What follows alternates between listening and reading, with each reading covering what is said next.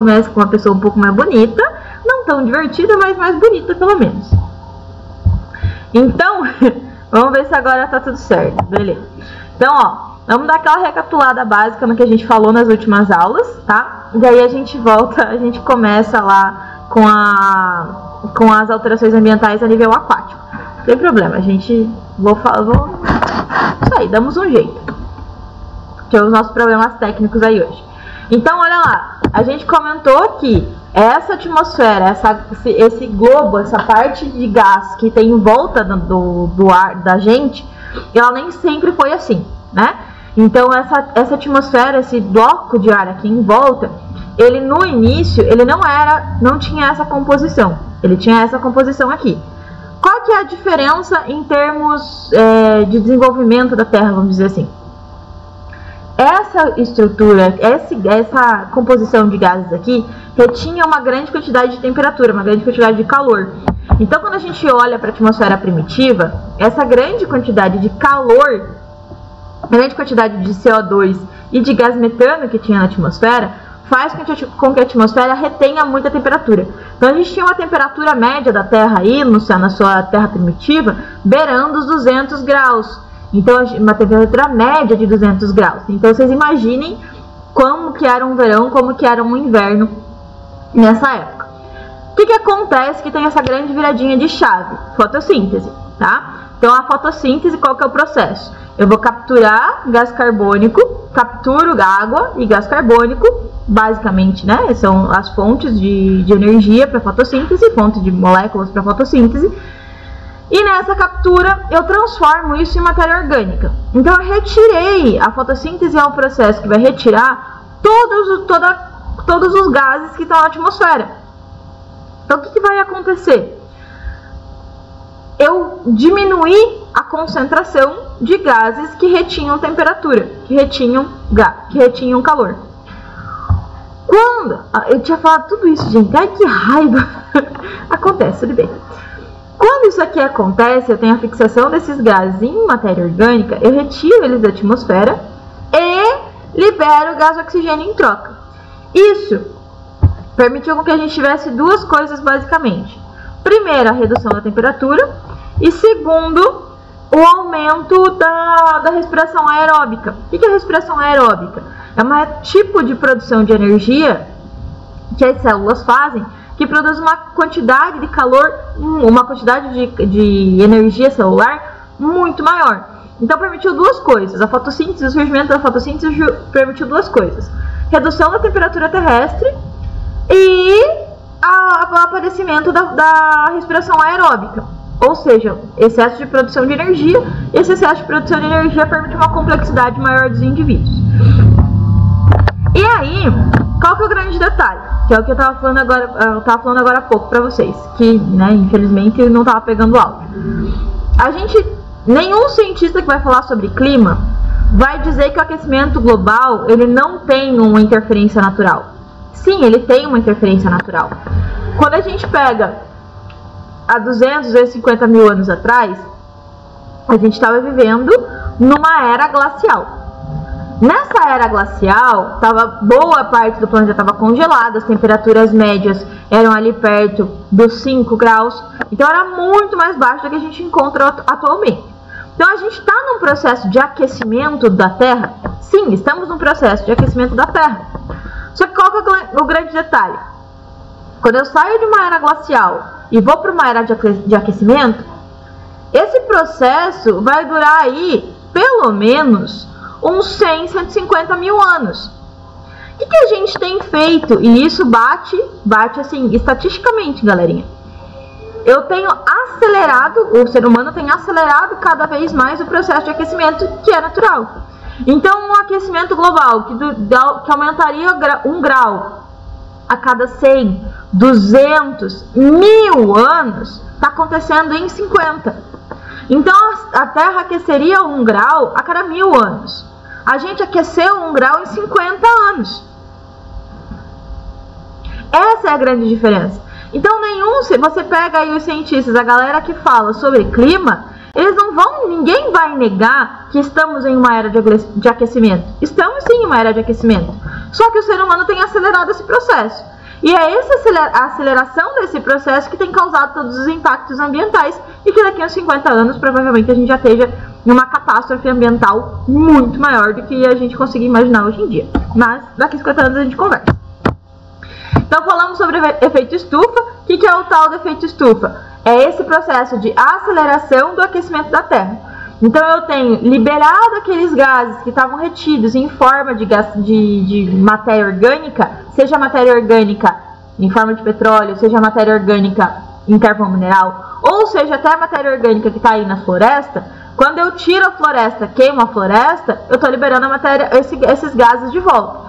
O que, que, tá, que, que isso vai causar? Um aumento da concentração, um aumento da retenção de calor e um aumento da retenção de calor na superfície vai fazer com que a temperatura média saia aí dos seus 22, 25 graus para 28, 30 graus. Só que qual que é o grande detalhe?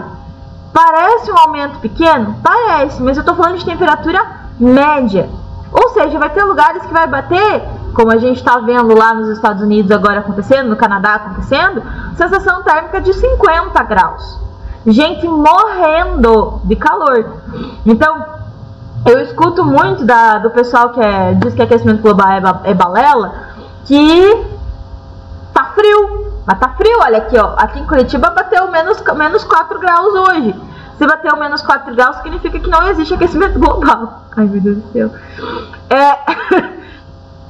é justamente essas variações intensas de temperatura, essas variações intensas de regimes de chuva, que o aquecimento que provam, inclusive, o aquecimento global. Então eu tenho uma parte do globo terrestre que está tendo, tendo temperatura de 50 graus, de sensação térmica de 50 graus. Então, ao mesmo tempo que a gente está no inverno aqui, é normal a gente ter essas temperaturas, eu tenho lugares que estão batendo recorde de temperatura o tempo todo. E aí uma coisa que eu falei para vocês na última aula, que a gente precisa começar a prestar atenção, e aí se eu estiver falando muito rápido, vocês me avisem, é que a temperatura, galera, a gente precisa mudar um pouquinho o nosso discurso, tá?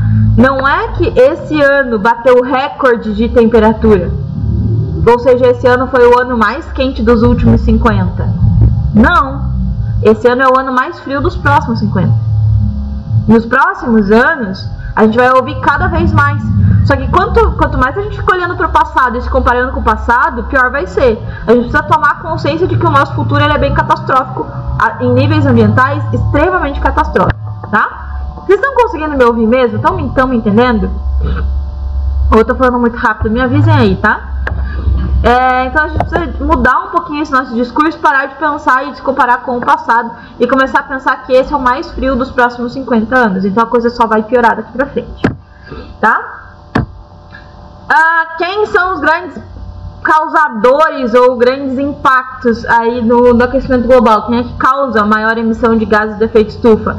A gente sempre, é, não que as fábricas, não que as indústrias ou que os carros é, o excesso de uso de, de automóveis não seja um problema, tá? Eles são um problema, mas a gente nunca relaciona um ambiente rural a um ambiente poluído.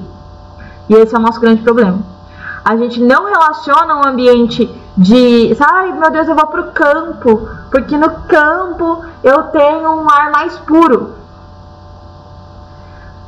No campo, a produção de gado, a nossa, esse nosso consumo excessivo de carne e tudo o que vem do consumo e da distribuição, da produção, do consumo e da distribuição de carne.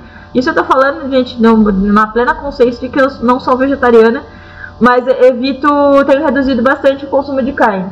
Mas é, o grande BO, o grande BO do aquecimento global é o consumo de carne, consumir a venda de carne, tá? Porque para você produzir um quilo de carne, você emite toneladas de gás, de gás metano, toneladas de gás carbônico e consome litros e litros e litros de água.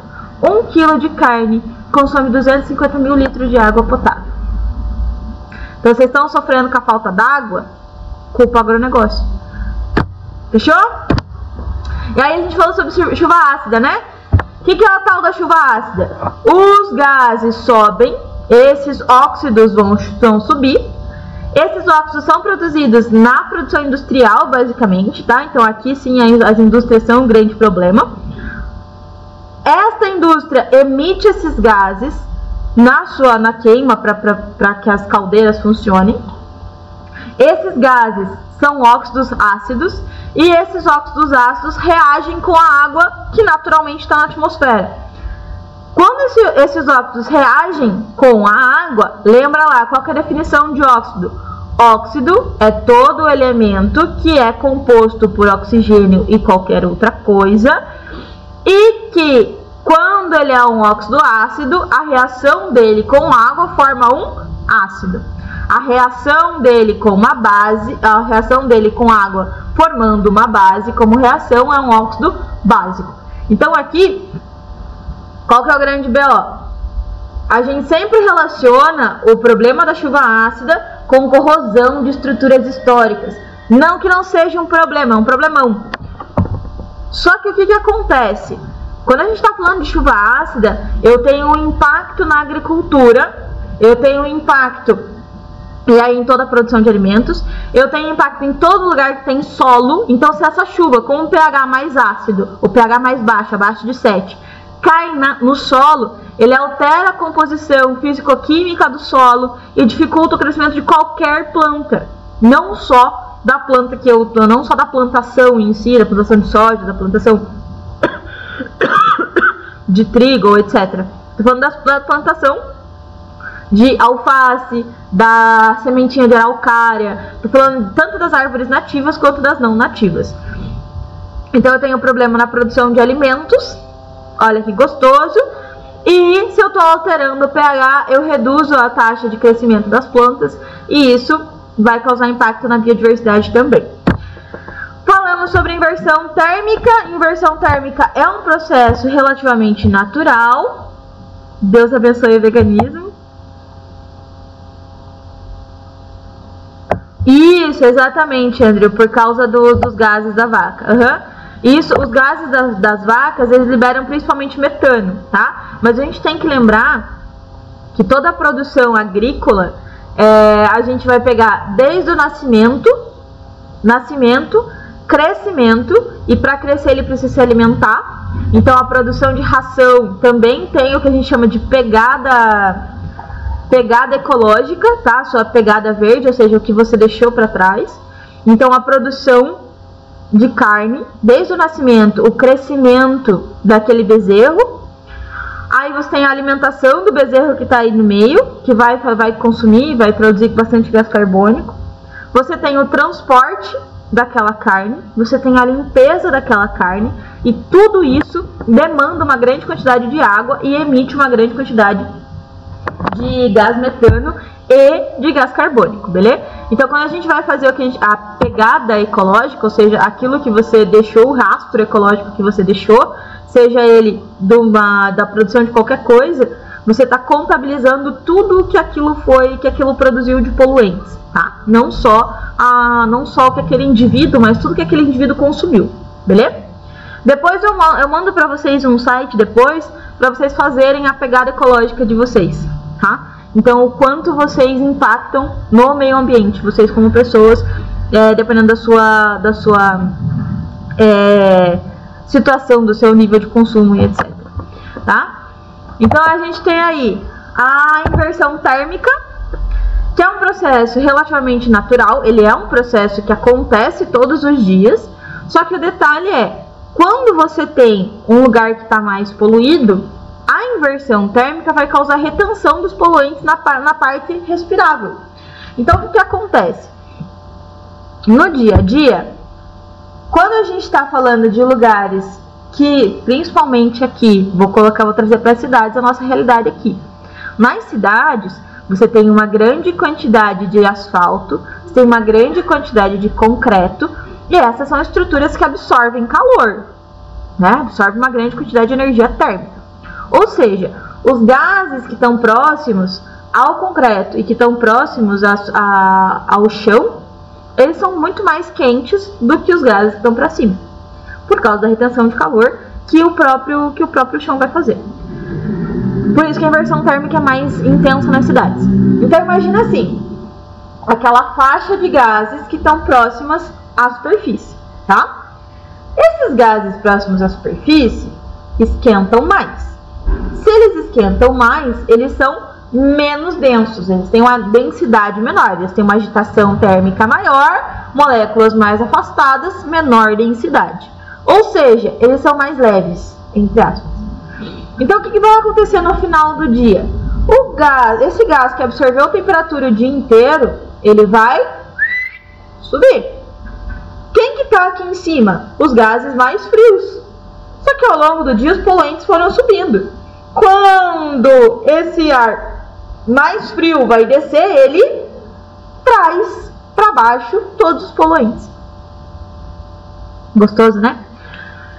Isso, essa, essa zona de ar frio que gera, que fica na parte de baixo, retém mais poluentes, porque o ar frio aqui embaixo é mais denso e retém todos os poluentes por muito tempo ali. O que, que isso causa? Aqui a gente tem um problema, um efeito na saúde humana bem grande, que é a, a gente respirar poluição o dia inteiro. E aí, galera, além dessa poluição dos gases poluentes mesmo, gás carbônico, gás metano, gás é, óxido nitroso, é, dióxido de enxofre, dióxido de dióxido de nitrogênio, esse tipo de coisa, a gente ainda está respirando poeira. Essa poeira bioacumula no pulmão, dificulta a respiração. O monóxido de carbono, ele entra no lugar do oxigênio nas nossas hemácias, então ele consegue entrar dentro do nosso sangue. Então, o monóxido de carbono entra no sangue no lugar do oxigênio, ou seja, você pode morrer asfixiado mesmo respirando. É, você respira poeira e, além de tudo, a gente respira plástico. A gente já sabia há muito tempo que a gente comia plástico. Inclusive, as taxas de aumento de câncer de intestino, essas coisas têm uma relação bem grande com o nosso consumo de plástico.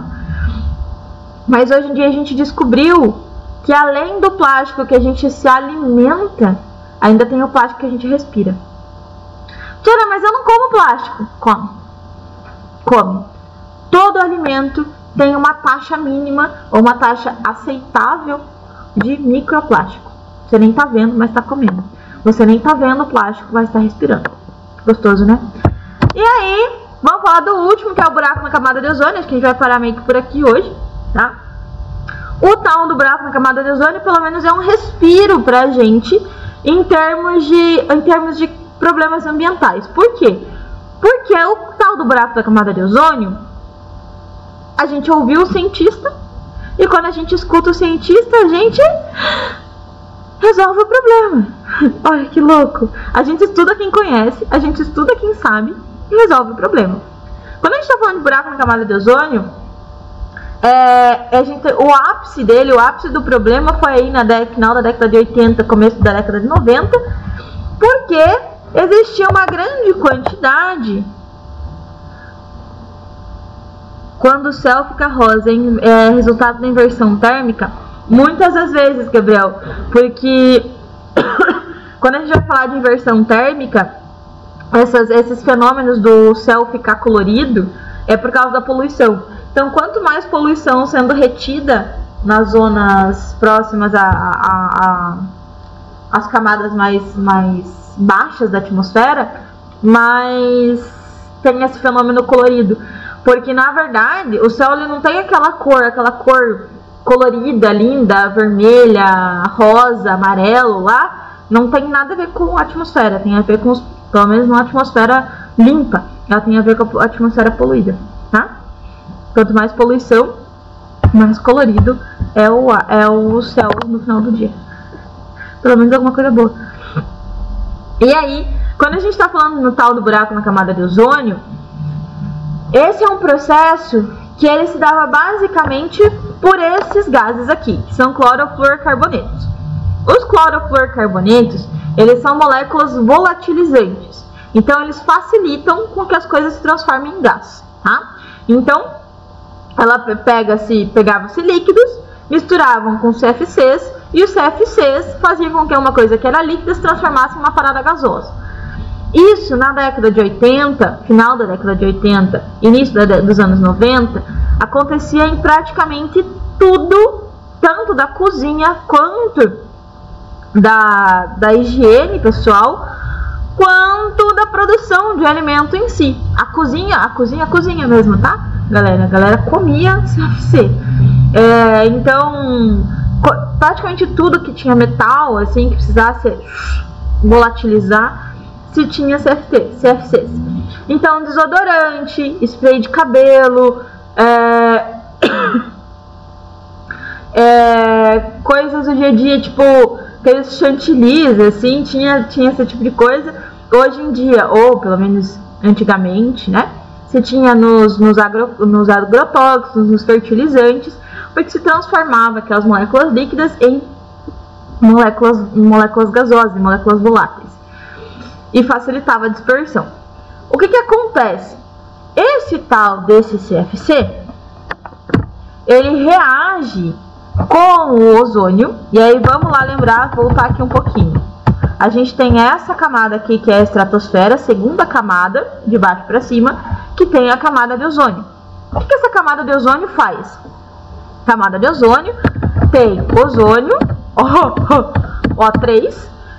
O O3 ele é uma molécula que reflete, reflete, ou seja, o, as, as, a luz chega nela e ela reflete o comprimento de onda UV ou seja, aquele UVA, UVB, que são comprimentos de onda extremamente, extremamente é, energéticos e que causam alterações na matéria orgânica.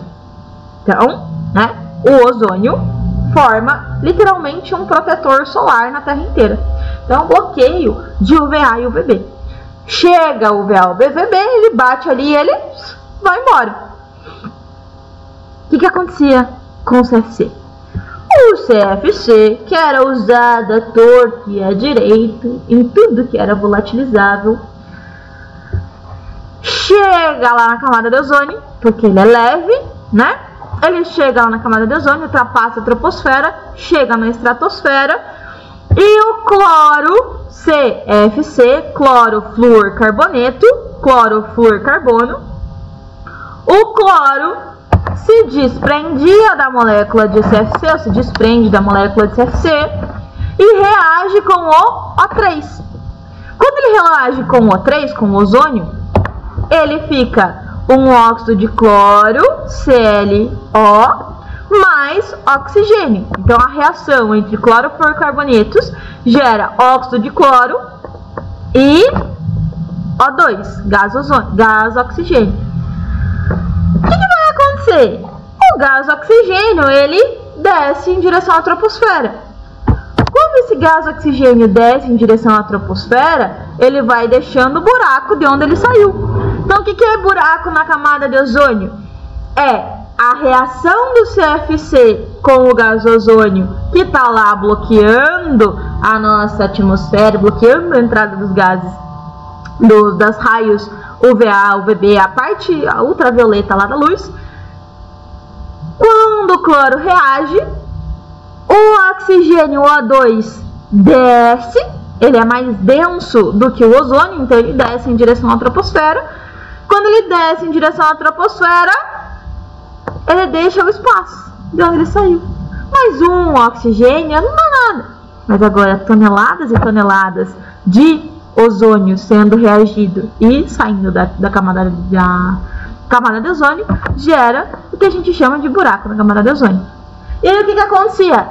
Aquele UVA, aquele UVB passava muito, ou né, pela camada. O que, que aconteceu? A gente escutou o cientista, bloqueou os CFCs, lá na, numa das conferências do clima, bloqueou-se, proibiu-se os CFCs e o buraco regrediu bastante. A gente tem algumas coisas com CFC ainda tem, principalmente fertilizante, agrotóxico, essas coisas aí, tá? Usado pelo agronegócio. Senhora, você odeia o agronegócio? Mais ou menos, tá? Mais para mais do que para menos. É... Mas enfim, detalhes da nossa vida. E aí, galera, a gente são nove, quatro. Vou, a, essa parada dos dos agronegócios, não é que a gente odeia o agronegócio, tá? Não é que biólogo odeia agronegócio. É que a gente olha e fala, meu, pra quê? existem outras alternativas, existem outras possibilidades. A gente não precisava impactar tanto o meio ambiente quanto a gente impacta. Aí a gente escuta assim: não, professora, mas se não fosse assim, a gente não ia produzir alimento suficiente para todo mundo. Galera, a produção de alimentos é extremamente capaz de acontecer sem a necessidade de usar é, fertilizante, sem a necessidade de usar agrotóxico, tá? Existem técnicas possíveis. A... Vocês terem uma ideia, queima-se arroz, é muito comum acontecer de se queimar arroz, de se queimar grãos no meio da África. Se queimar grãos no meio, sabe, de você tacar fogo em milho no meio de países que são extremamente pobres. Por quê? Para aumentar o preço da safra. Porque se há um ano que tem uma produção muito grande, você tem uma alta produção, abaixa o preço. Então, para não abaixar o preço, o cara põe fogo. Vocês entendem como a gente entrou no nível bizarro assim de, de consumo e de produção? É, então, alimento para todo mundo, espaço para produzir alimento para todo mundo tem. Tem. Maior parte do, da, das plantações que a gente tem aqui no interior do Paraná, por exemplo, é de soja. Vocês comem soja torta direito todo dia? Não, não diretamente. Quem come soja? Vaca. Então, boa parte da produção, do, boa parte, 90% da soja que é produzida no Paraná é para matar fome de vaca, não é para matar fome de gente. Vocês entendem a, a, o nível que a gente chegou? Então, enfim, a gente, a gente vai continuar falando ainda de algumas, de algumas bizarrices é, da, da, da, nossa produção de alimentos aí nas, nas próximas aulas. Uma delas é a eutrofização de lagos. Então a gente começa com essa parte aí, eu vou falar rapidinho, pelo menos a ideia disso aqui, tá? Que é basicamente o seguinte: eutrofização é um processo de alteração da composição química ou física da água que vai causar o aumento ou a proliferação da, de bactérias, bactérias e ou algas. Esse processo vai impedir a entrada de oxigênio na água. Mas, Flora, se aumenta as algas, por que, que diminui o oxigênio? É nisso que a gente vai voltar na próxima aula, tá? Porque a gente confunde muito é, a presença daquela camada verde em cima da, da água como uma coisa boa, e não é, tá? Quando você pega um quem mora perto de rio, principalmente ali para os lados do zoológico, é, no zoológico, eu, eu, uso o zoológico como exemplo porque é um lugar que eu vi que estava bem grosso da última vez que eu, que eu passei por lá. Então, aquela região ali de São José, você vai passar perto dos lagos, são camadas grossíssimas de algas. Qual que é o detalhe? Aquela alga não está produzindo oxigênio para a água lá embaixo. Ela tá O oxigênio é um gás, então ele vai volatilizar, vai para cima. Então lá embaixo está tudo morto. Mesmo tendo alga fotossintetizante na superfície, lá embaixo está tudo morto. Então, o processo de eutrofização ele pode acontecer pelo esgoto quente, tá? E eu vou explicar como é que isso funciona na próxima aula. Ou, de novo, pela liberação, pela lavagem de fertilizantes, pela lavagem de agrotóxicos que chegam até o rio, alteram a composição físico-química da água e aceleram a proliferação dessas algas. E essa proliferação de algas causa uma dificuldade na entrada e na solubilidade de oxigênio, matando todo mundo que está embaixo asfixiado. Gostoso, né? Então, ó, no 19 coisa a gente fala melhor sobre isso. Deu a vontade até virar vegano. é, então, ó, galera, é lucro, exatamente, lucro. A ideia é essa. É, quando a gente fala de alterar o seu, o seu pensamento de consumo, a gente não está falando para você ser vegano é sensacional, tá? Eu confesso que eu não, eu não sou vegana, mas eu evito, evito o consumo de carne já há algum tempo, né? Ou pelo menos diminui, diminui bastante nos últimos anos. O que, que acontece? É, a, gente foi, a gente foi vendido nos últimos anos, tanto que a gente tem essa necessidade louca de proteínas, sem pensar de onde essa proteína está vindo e se a gente realmente precisa dessa proteína, tá? É, Ai, professora, então você acha bom que a carne esteja 40 reais o quilo? Não! Isso é outro BO que não tem nada a ver com o que a gente está falando, tá? É, Então, quando a gente tá. Quando a gente fala de repensar a nossa alimentação, repensar o nosso impacto ambiental, a gente não está simplesmente querendo que vocês saiam abraçar a árvore e cortar tudo que é qualquer coisa da sua alimentação, mas é pensar um pouquinho no quanto a gente deixa de rastro em qualquer coisa que a gente faz, em qualquer coisa que a gente compra, em qualquer coisa que a gente consome no dia a dia. Realmente, é quando você altera a sua alimentação, você como indivíduo faz impacto? Claro que faz. Claro que faz. Tá? Então, você precisa eliminar a carne da sua alimentação para você ser uma pessoa boa? Não. Não. Mas se você reduzir, se você repensar, se você tentar, no mínimo diminuir, já faz uma contribuição e tanto. Beleza? Beijo pra vocês. A gente se fala lá na, na próxima fora essa quarta, na outra eu falo de eutrofização de rios e lagos daí, tá? Provavelmente a gente fique uma aula atrasadinho, mas não tem problema, a gente recupera lá na frente. Beijo pra vocês. A gente se vê daqui uma semana e pouquinho.